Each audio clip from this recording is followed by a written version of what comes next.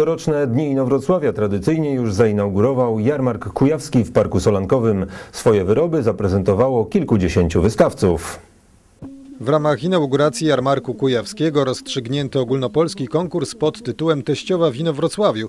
Nagrodzono najlepsze fraszki, zdjęcia, a nawet piosenki o teściowej. W tej ostatniej kategorii zwyciężył Tomasz Jarmułkiewicz, który przyznał, że pisanie piosenek o teściowej to nie jest trudna sprawa.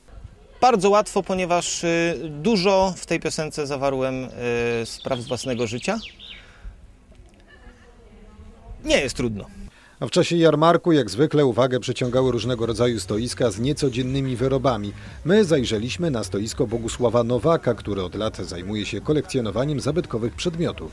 Antyki, starocie, militaria, medale, odznaczenia, odznaki, lokalne inowrocławskie.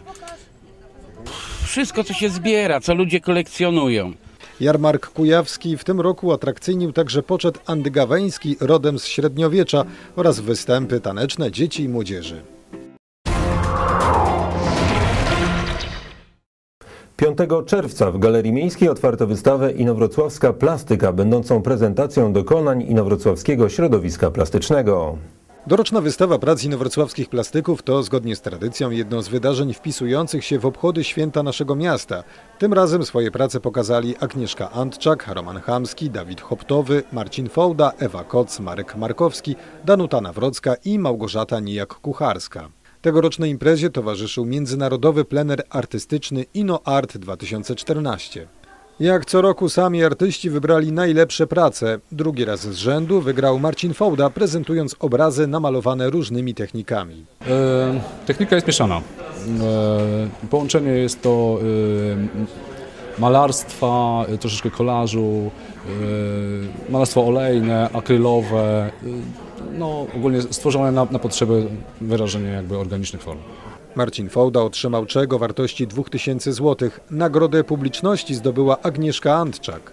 W tym roku, y, jak już od paru lat, y, cały czas y, temat konie, ale w tym roku zmiana, bo to grafiki, tusz na, na, na, na papierze, taka technika mieszana. Konie to moja pasja od, od bardzo dawna, właściwie od dzieciństwa. Teraz jestem w posiadaniu konia i tak po prostu przy obserwacji, przy pracy z nim no jakoś tak mnie zainspirował i też jest tutaj uwieczniony na obrazach. A wystawę inowrocławskich plastyków można oglądać w Galerii Miejskiej jeszcze przez najbliższe dwa tygodnie.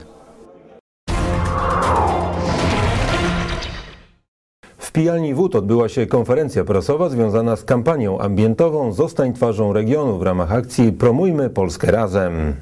Konferencja zorganizowana w pijalni Wód Palmiarni Inowrocławianka miała charakter akcji promocyjnej będącej elementem kampanii Bajkowy Urlop w Polsce, podsumowującej dotychczasowe działania w ramach projektu Promujmy Polskę Razem, realizowanego przez Polską Organizację Turystyczną w latach 2010-2014.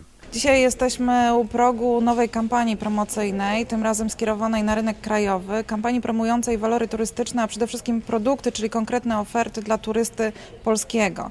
Będziemy odwiedzać wszystkie 16 województw. Dzisiaj jest e, premiera, pierwsza impreza, duża. Będziemy poszukiwać osób, które bardzo będą nam pomagać w kampanii promocyjnej, będą twarzami własnych regionów i będą pokazywać to, co w tych regionach jest najciekawsze. W konferencji wziął udział m.in m.in. prezydent Inowrocławia Ryszard Brejza i zastępca burmistrza Ciechocinka Marian Ogrodowski. Na specjalnie przygotowanej scenie włodarze miast wspólnie z aktorką Joanną Koroniewską promowali akcję Zostań twarzą regionu.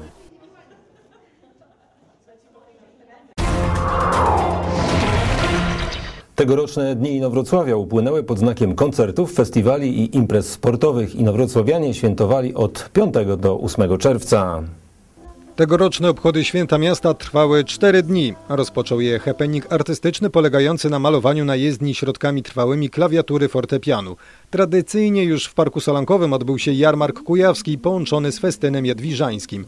W pijalni wód szukano twarzy regionu w ramach kampanii Bajkowy Urlop w Polsce, a sprzed Teatru Miejskiego na rynek do pomnika Królowej Jadwigi przeszła parada królów i królewien złożona z 250 przedszkolaków. Plac imprez przy Wierzbińskiego 9 był podwójną areną, sportową i muzyczną.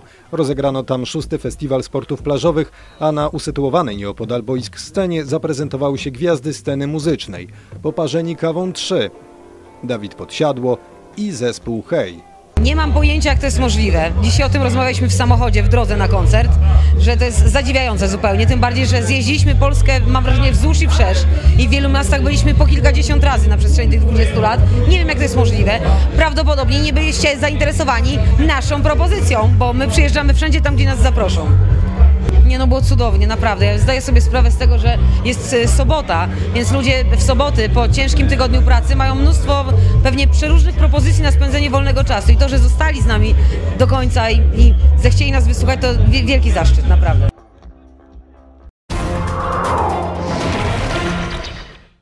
Prezydent Inowrocławia i wójt gminy Inowrocław podpisali porozumienie w sprawie wzajemnej współpracy przy realizacji zintegrowanych inwestycji terytorialnych Inowrocławia.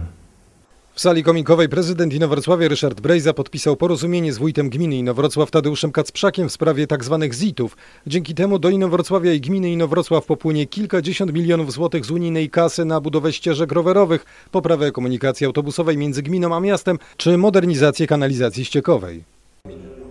Wraz z dzisiejszym porozumieniem otworzyliśmy drzwi do realizacji wielu bardzo ważnych inwestycji i zadań przez władze miasta i władze gminy inowrocławskiej do 2020 roku przy wsparciu z Unii Europejskiej. Na każde 850, na każde 1000 zł wydatkowanych 850 zł dostaniemy z Unii Europejskiej. E, Więc bardzo dobre są warunki finansowania. I Jeżeli uda nam się na przykład tak długo oczekiwane do realizacji zadania, jakim jest rów marulewski, który odprowadza wody opadowe e, z poważnej części Inowrocławia w kierunku jeziora Szarlej, wyremontować, pogłębić, odnowić, e, to mamy szansę na ograniczenie zalewania części miasta w trakcie takich uciążliwych opadów. Jeżeli uda nam się realizować kolejne zadanie, ścieżki rowerowe, to mieszkańcy Inowrocławia będą wyjeżdżali ścieżkami rowerowymi do Balczewa, do okolicznych miejscowości na terenie gminy wiejskiej Inowrocław. Takie mamy zamierzenia, aby wspólnie z władzami i gminy usprawnić przemieszczanie się niekoniecznie samochodem między miejscowościami podinowrocławskimi a miastem Inowrocławiem. Przecież na terenie miasta udało nam się wiele ścieżek zbudować, w szczególności e, w parku zdrowiskowym i na osiedlu Rąbin. E, W następnych latach musimy myśleć o wyjściu dalej. Ten, kto nie planuje, to ten traci. Traci możliwość realizacji jakichkolwiek e, celów oczekiwanych przez mieszkańców. My nie oczekujemy, jak Państwo widzicie, planujemy i mamy zagwarantowane już w tej chwili w 80 aż 5% możliwości sfinansowania pewnych zadań. Pierwsza Brygada Lotnictwa Wojsk Lądowych świętowała w Parku Solankowym. Z tej okazji odbył się uroczysty apel.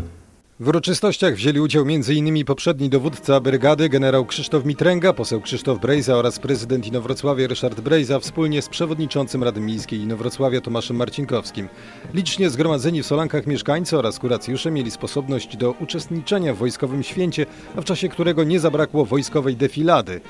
Teraz przed pierwszą brygadą stoją niezwykle ważne zadania. Szanowni Państwo, to prawda, że e, mamy bardzo dużo zadań. E, dzisiaj jest czas e, świętowania, był czas podsumowań.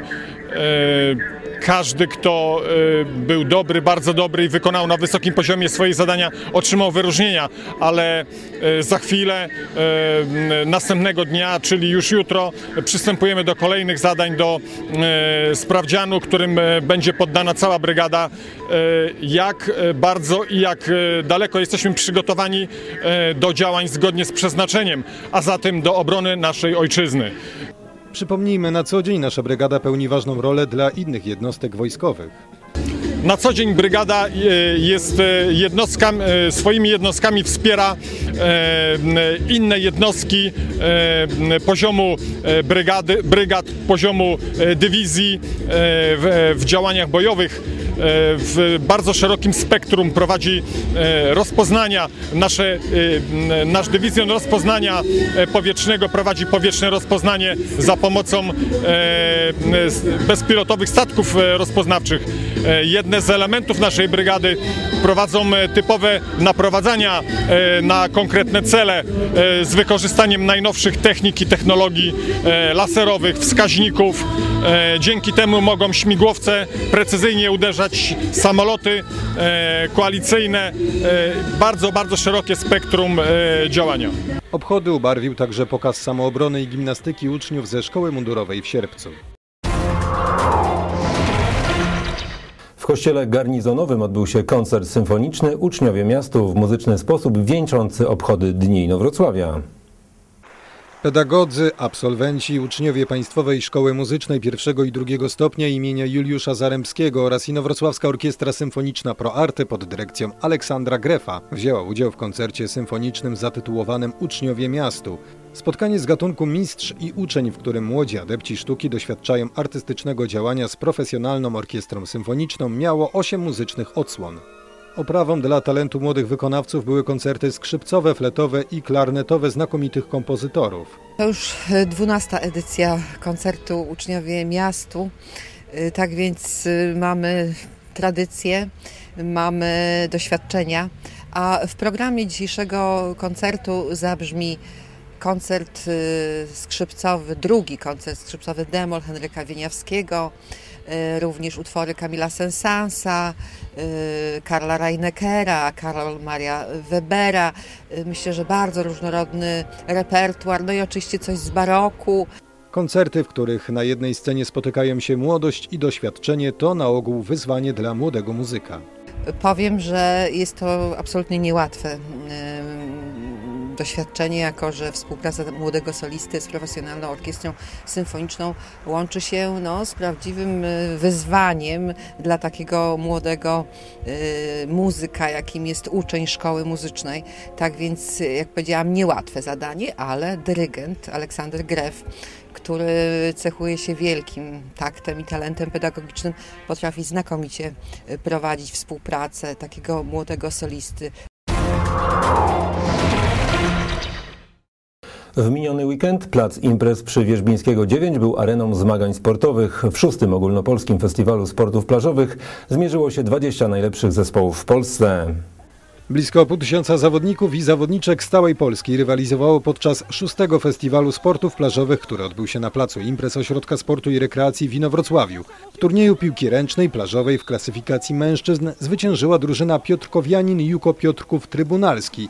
Zawodnicy Damy Rady Inowrocław tym razem zajęli czwarte miejsce. Dokładnie. Walczyliśmy do samego końca. Fakt jest taki, że mieliśmy łatwiejszą grupę, te mecze były początkowo łatwiejsze, może dlatego się nie mogliśmy tak dobrze zgrać, tej presji tak nie było, nie było takiej atmosfery jak powinna. Dzisiaj już ta atmosfera była, nie poszedł za tym wynik sportowy niestety, chociaż naprawdę zasłużyliśmy moim zdaniem. W klasyfikacji kobiet również najlepsza okazała się drużyna z Piotrkowa. Na boiskach z piasku odbyły się też turnieje piłki nożnej i siatkówki.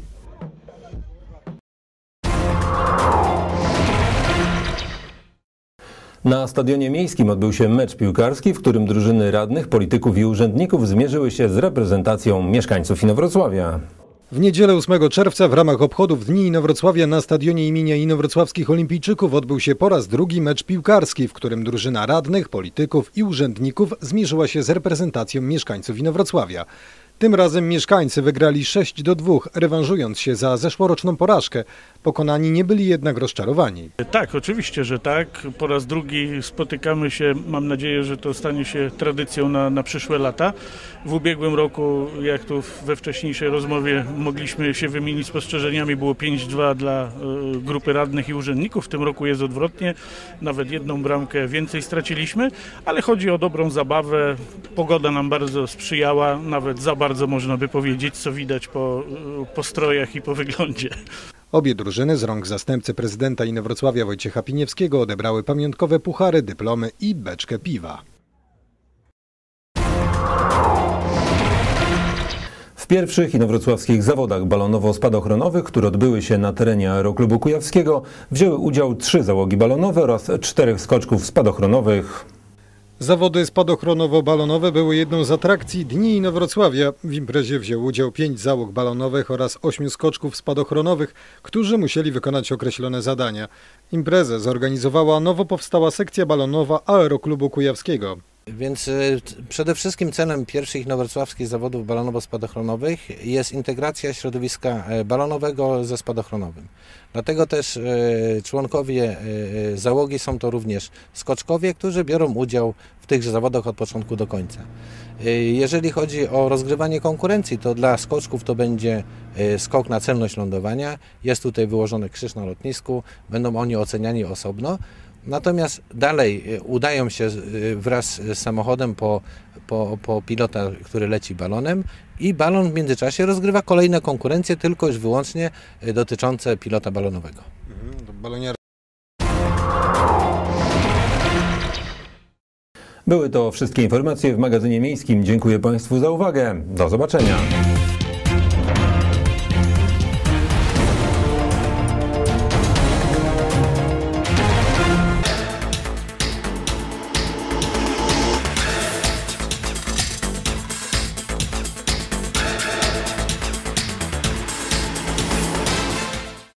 Najbliższy weekend upłynie w Inowrocławiu pod znakiem 42. Ogólnopolskiego Festiwalu Młodzieżowych Orkiestr Dętych. W sobotę o godzinie 20 w pięknej scenerii tężni solankowej odbędzie się koncert nocny z udziałem Renaty Przemyk. Święto muzyczne zwieńczy koncert galowy, który odbędzie się w niedzielę o godzinie 11 w muszli koncertowej, podczas którego orkiestry zaprezentują się na scenie i na proscenium podczas widowiskowej musztry paradnej.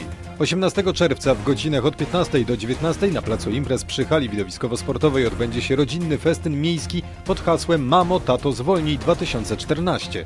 W programie liczne atrakcje i konkursy dla całej rodziny oraz występy artystyczne. 20 czerwca w godzinach od 16 do 18 w muszli koncertowej Parku Solankowego odbędzie się festyn antynikotynowy pod hasłem Ino Wrocław nie pali. Skierowany jest do dzieci, młodzieży, dorosłych i kuracjuszy.